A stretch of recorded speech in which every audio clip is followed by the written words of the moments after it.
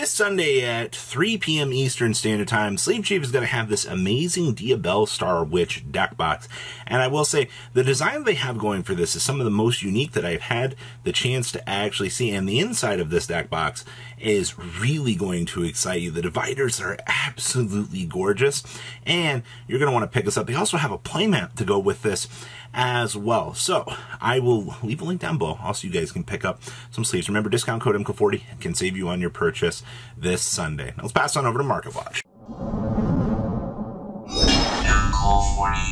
Make sure you guys smash the crap out of that subscribe button so you guys don't miss out on content as guys, leave a comment down below when you'll be walking away with a boost pack. We've been doing it every single one of these market watches, so I hope you guys will continue to tell me what you guys think about the market. So, Relinquished Fusion. I uh, I don't know what has brought this one on. I can't think of anything out here really too interesting with this. But I saw 16 listings for this print. I was like, huh? $7? $8 a copy? Like, what in the world? This, this has not had a large swing of sales actually. It's just naturally low on listings for this version. I mean, considering the fact this is from Ancient Millennium, we'll talk more about that here in a second. But um, I also want to point out back here that the reprints for these, um, these are all 34, 42, 35.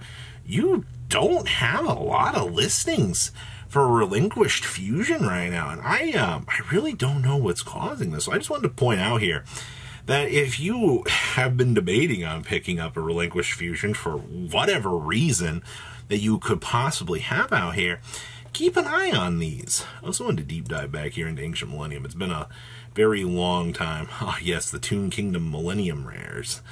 Ah, good stuff. I also love the fact that that pops up for some reason. Uh, your Ancient Megaton cannon back here is now $10 as well. Millennium Eye's Illusionist is 4 to 5 The Armored Dragon Catapult is also up. Desperado Dragon is now 3 to $4. Ancient Gear Fusion from this set is $8 as well. Wow. The original prints for this set, um, they might not look like a lot. Even the Millennium Eyes is up to like $3. The Mimicat is also going up. What in the world? Ojo Simulation still running at $2? Wow. I wow. The ancient gear frame from this set is also up right now. Wow. I if I were you, I would pay attention to this old set. This is literally like one of the best remaining duels packs that exist in the course of the game. And I, I genuinely, that's kind of crazy to actually see boxes for this set. 500 on up to 1200. LOL, lol. Ah, Ragna Zero. Now, I don't know if you've been paying attention to this card, because I certainly haven't been. But evidently, as we're kind of heading on in to the next water set, people for some reason have a theory out here that this is uh, going to be worth something. And to be honest with you, this card doesn't have crazy sales data. It's just naturally been a lot of these low quantity cards, it's not that they have been bought out. It's just they had really low listings over the course of, you know, five, six years. And then as time goes on, you know, they're getting slashed more and more in terms of people just picking them up and they slowly disappearing off the market. And that's what you're seeing here. Um, there is also like an application, I think, with Vaalmonica to try to play this card. Don't get me wrong. I, am not too sure on that. My friend was talking to me, but I was like, yeah, you can use this with Vaalmonica. And it's like, I mean, I guess, but it, I don't see huge sales swings on this. Even like the rare only has 25 listings for this. To be fair though, this card did have a lot of, it did have a lot of playability for its era. I remember this was one of the go-to monsters to try to play. But I'm also, not only does it have a little bit of utility for some of the, you know, being able to pop things whose attack is different from the original and get a free draw, but you've also got to keep in mind you do have future support coming down the pipeline for water, so it makes sense for this to kind of be on the option watch list. Ah, speaking of the watch list of things out here, our dear friend Shark Drake Veiss. I am I absolutely love the fact this card has like zero sales data except for you had somebody buying a first ed back here on 424 and then 417 was your last sales. If you believe Now, this card is going to get some sort of support. I mean, we do know Rage of the Abyss is the next set. Who knows? But you're dealing with a, you're dealing with basically number 32 Shark Drake out here. So who knows? They could make a turbo way to pick this up, and this card could suddenly be worth something. I don't know. Ultimate rares are 350. That's hilarious. You still get a German version for $5 out here. Shark Drake itself coming in actually like 4 to $5. This is one of the nicer ultimate rares. Uh, the German version out here still $5. Meanwhile, you can get the Star Pack Starfoil for a dollar. And then more ultras coming in at dollars. Wow. Thing also had a gold rare. I forgot about that. Interesting. Well, that's your Shark Drake looking. Hey, everybody, Morganites are five dollars. uh, somebody just bought six for five forty four. I guess they wanted play sets just to make sure that they could actually play them, but solidly across the board, six, five, six, five, five. Yeah, somebody bought one for ten, another for ten. Gotta love the international sales out here. NLG has you can get 25 copies at um, six dollars a piece, I suppose. Gotta love the bulk going right there. But hey, you know what? We all know how good Morganite is. We've all seen the course of the power that getting a draw to every one of your turns is, as long as you can sit on a floodgate to get the game back to your turn. Okay.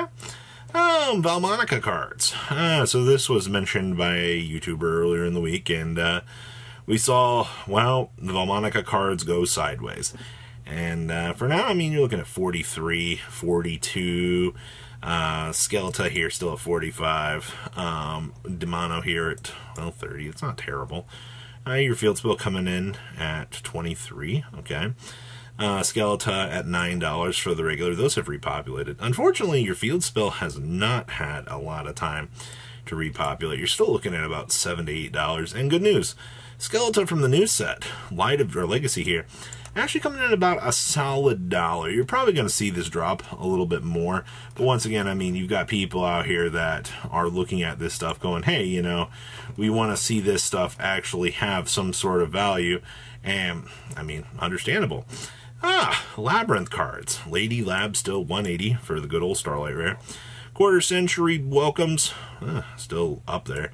116 Lady Lab Quarter Centuries, $76. Arias, actually, is down to 70 right now. It's actually kind of insane.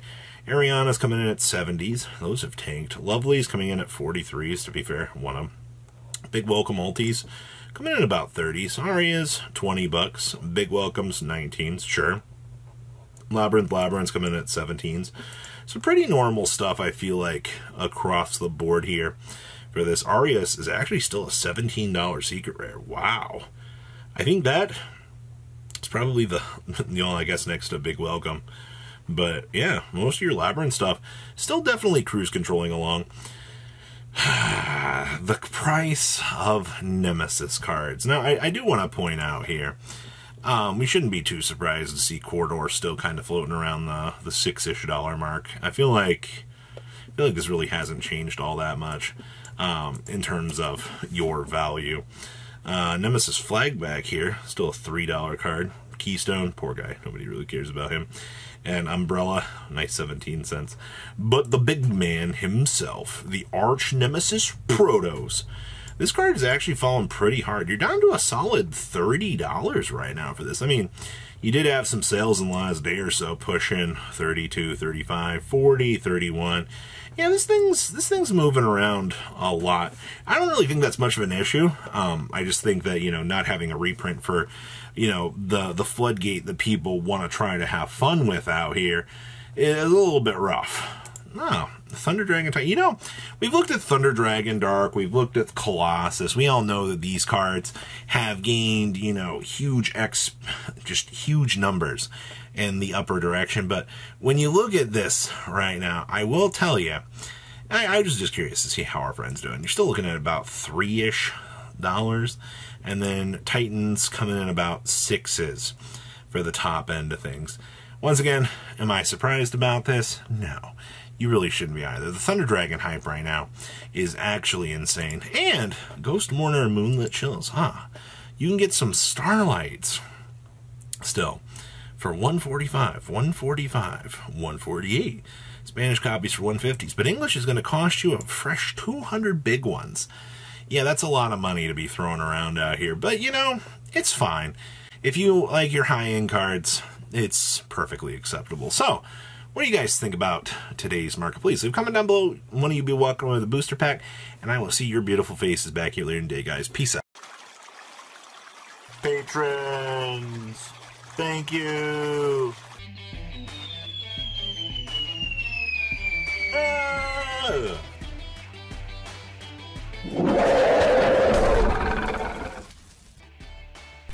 Thank you so much for watching. Check out these other videos.